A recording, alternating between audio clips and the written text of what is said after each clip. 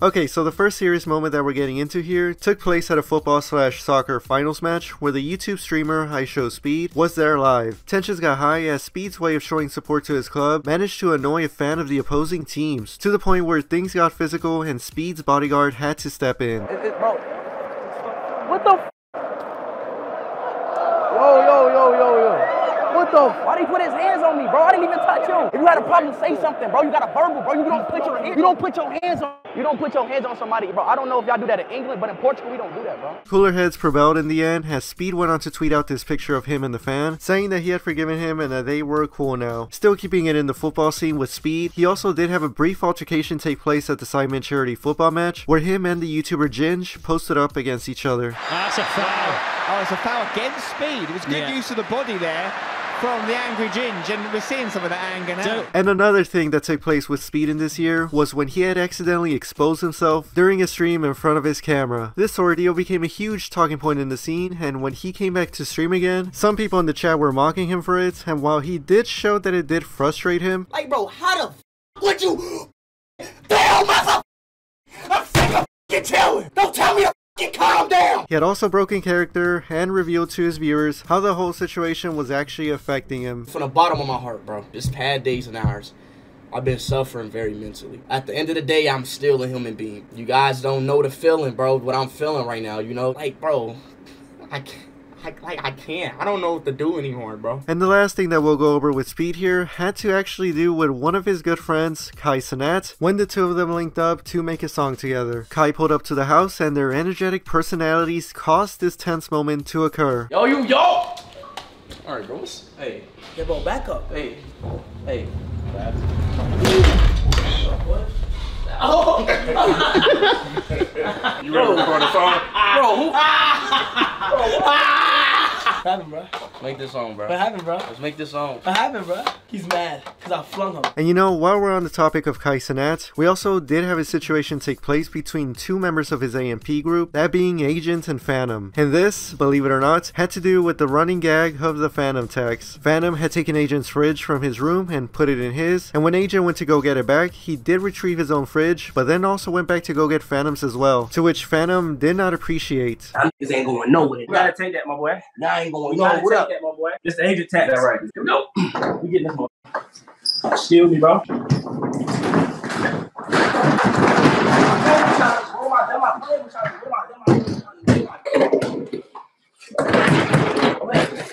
I'm, I'm gonna show you how I'm, gonna act up. Do? I'm gonna act up. Oh, Fanum. What am I? How can you not see how to fuck? How can y'all touch They get into a full blown argument, which eventually had Fanum punching the camera, and when Agent returned to his room, Fanum was still not having it as Kai had now entered the scene. How did I do some corny shit? Please explain it to me. even doing shit. You want me to? I'll, I'll mute it if you want me to to. my dead man's. Pull up. We're going to go outside. Okay, chat. Give me a sec. I'll be right outside. Bro, sit down, man. Come through. No, we're gonna talk, bro. Stop playing. God. He not gonna. Excuse me, my brother. Excuse me, my brother. Excuse me, my brother. You bugging. Not touch my fridge, bro. I've never seen a more unreasonable individual. Go get your fridge, gang. Go get your fridge, corny ass. I'll grab it later. I'll grab it later. Yeah, yeah. Luckily, no long term animosity came out of this, and the two are still cool with each other now, continuing to make content for AMP. Now, going back to Kai, while he manages to keep his cool with a lot of people, one person that did get under his skin was Matan Even, aka the Bill Clinton kid that crashed the 2022 Game Awards. Matan this year became known for showing up in the most random places, and Kai's livestream at Universal Studios was no exception. But Kai, with no interest in entertaining the kid, let him know how you felt about his stream sniping appearance. Yo, I, I've seen him before. I do it. What the hell? What's going on? You're the most random person. You- You're not with us. You're not with us, but I've, I've definitely seen you before. Can I get a quick photo? Yeah, quick, quick, quick. Whoa, oh, bro, stop doing that, bro. I just, stop doing that, bro. I just wanted a quick You're trying to be low. Like, come on, man. Matan, still wanting to troll another big streamer later on, then set his eyes on the political commentator Hasan Piker and found the perfect opportunity to do so when Hasan went onto the front lines of the Writers Guild of America strike in the middle of the year. What's going on? How you guys doing? We love landlords. We're all against unions. We're here to protest against the landlords and the unions. We love landlords. We love them. We love landlords. You want to move uh, move away a little bit? No, he said we love landlords. No, no, we like union. I mean, we hate unions. We love landlords. Now, the next moment that we got here also has to do a bit with the entertainment industry from the mainstream, where this one involves the Stranger Things 4 actress Grace Van Dien and the OG FaZe member slash YouTuber FaZe Rain. Grace, barely having shown interest in gaming and streaming in the past, just nonchalantly joined the FaZe Clan organization like it was nothing, rubbing many in the community the wrong way, including Rain, to which he vocally called her and the organization out. Both Rain and Grace from that would have a personal back and forth, and before things could get even worse, Rain decided to have an in-person meetup between the two to sort of squash the beef, where at first their conversation was going well, but things took a turn as Rain displayed her hypocrisy by acting offended over her comments. You want to super victimize yourself over that? Okay, then I guess I'm her. How dare you? How dare you bring up the worst time in my life? I almost died.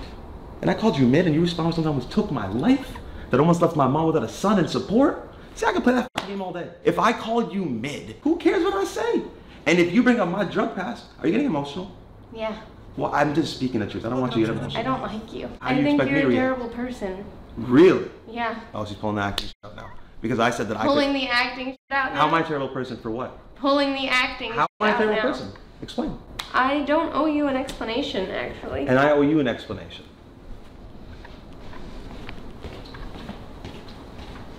Um, Macho, tell Vera that I'm not doing this video, and if they release anything, that I'm leaving, please.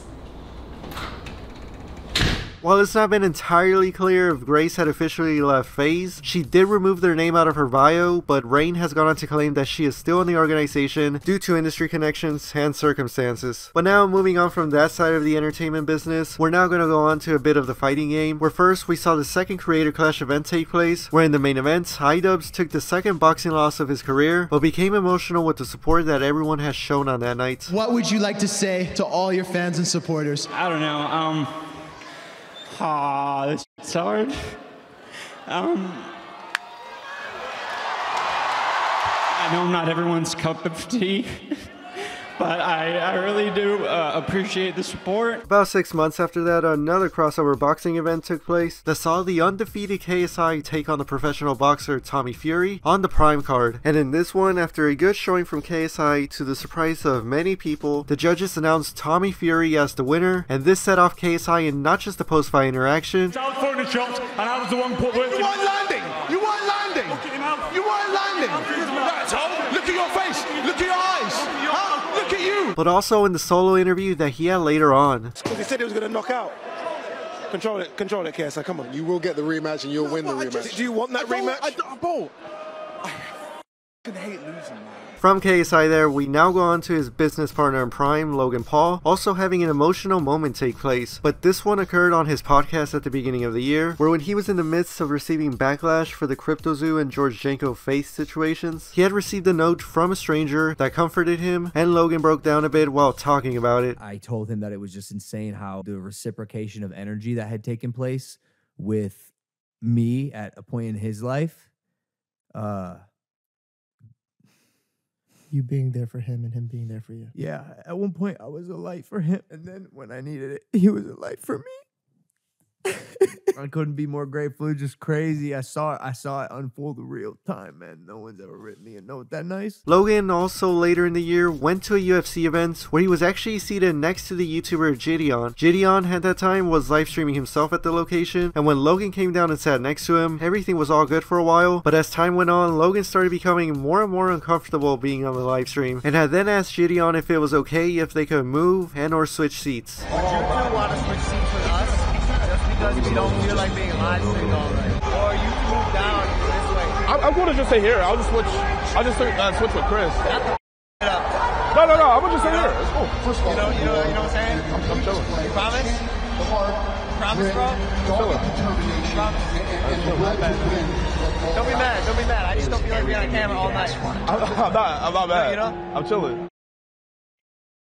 I'm chilling, chat. It sounds. I mean, we were there first, technically, but it's, it's all good. Moving on from that awkward moment, JiDion and Logan's brother Jake then started beefing after Jake had mocked JiDion for moving seats on that night. Can you move to your left a little? I'm not fucking JiDion. I'm not a fanboy like JiDion who's like, oh, yeah, yes, Logan. Oh, yes, Logan. I'm your own fucking brother, bro. We can go toe to fucking toe. Jake, why didn't you keep the same energy when he your girlfriend while you were still dating her. This ticked off Logan a little bit as his name was brought up and he thought that JiDion had gone a bit too far with his brother. But at the time, both him, Logan, and JiDion were still somewhat cool with each other, just now a little bit more on thin ice. But when the build up to the Prime Cards Logan Paul versus Dillon Danis fight started taking place, Dillon was consistently going at Logan's fiance online to build hype for their fight. And JiDion expressed that he found Dillon's antics to be hilarious. And Logan, throughout all of this in the background, saw everything going on. Then, when the launch press conference for the event took place, Logan got into heated interactions with Dillon throughout the day, including a face to face. Your Twitter account is a Logan Did you hear? Paul, Nina Agdal fan I'm the one that built this fight. You haven't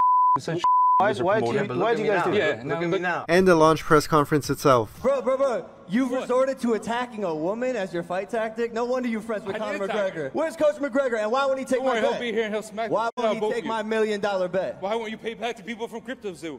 I'm working on it, Dillon.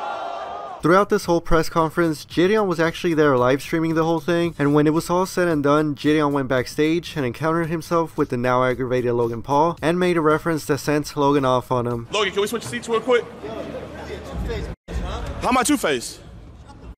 How am I two faced, Logan? I wasn't the one laughing when Jake was making fun of me.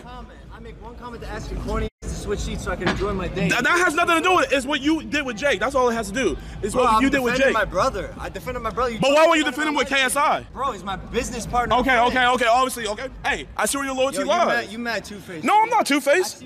I'm I'm real when it needs to be real, nah. and you don't deserve to be real too. Yeah, right, bro. You, You don't deserve to be real fakest too. person ever, bro. Hey, hey, you got another fight. You got a whole another fight to worry about. Yeah, and you on- Hey, hey, I was keeping the I was keeping the jokes. I was keeping the jokes. You're the one who call me. Yo, please leave. Hey, hey, Please hey. Leave. You're a corny live streamer, Please bro. say less. Please. Corny as f- Get the f- out of here. Hey, say less, Logan. Hey, good luck with your fight, Logan. He's talking about Jake. This man went on a fucking rampage disparaging Jake, and I stood up for him, and he, that's what he got mad about. When I texted him, I was like, bro, you went too far with Jake. That's when he really switched up. A bit more drama regarding the two still occurred after the fact, with statements coming out from each of them, but when JiDion made a video for his audience stating that he was going to be retiring from his usual content and be turning over his life to Christ completely, one can assume that the beef between the two has now been squashed, as Logan wished the best for him on a Reason podcast episode. I think the world could use a little Yes. guidance and positive, Exactly, uh, bro. um, like religion in their life. So if he if he can figure it out, it'd be phenomenal. Good for JiDion, bro. God Yeah, bless bro. him. God Yeah, bless no, him for, for for, sure, for making yeah. that For sure, pivot. it's I can't admirable. imagine it's easy. Like, like Yeah. What what a crazy Legit- shift. And that'll be the end of part one of this year's YouTuber Serious Moments. Part two will be coming out soon, but in the meantime, I hope that you all enjoyed this video, and I will see you in another one.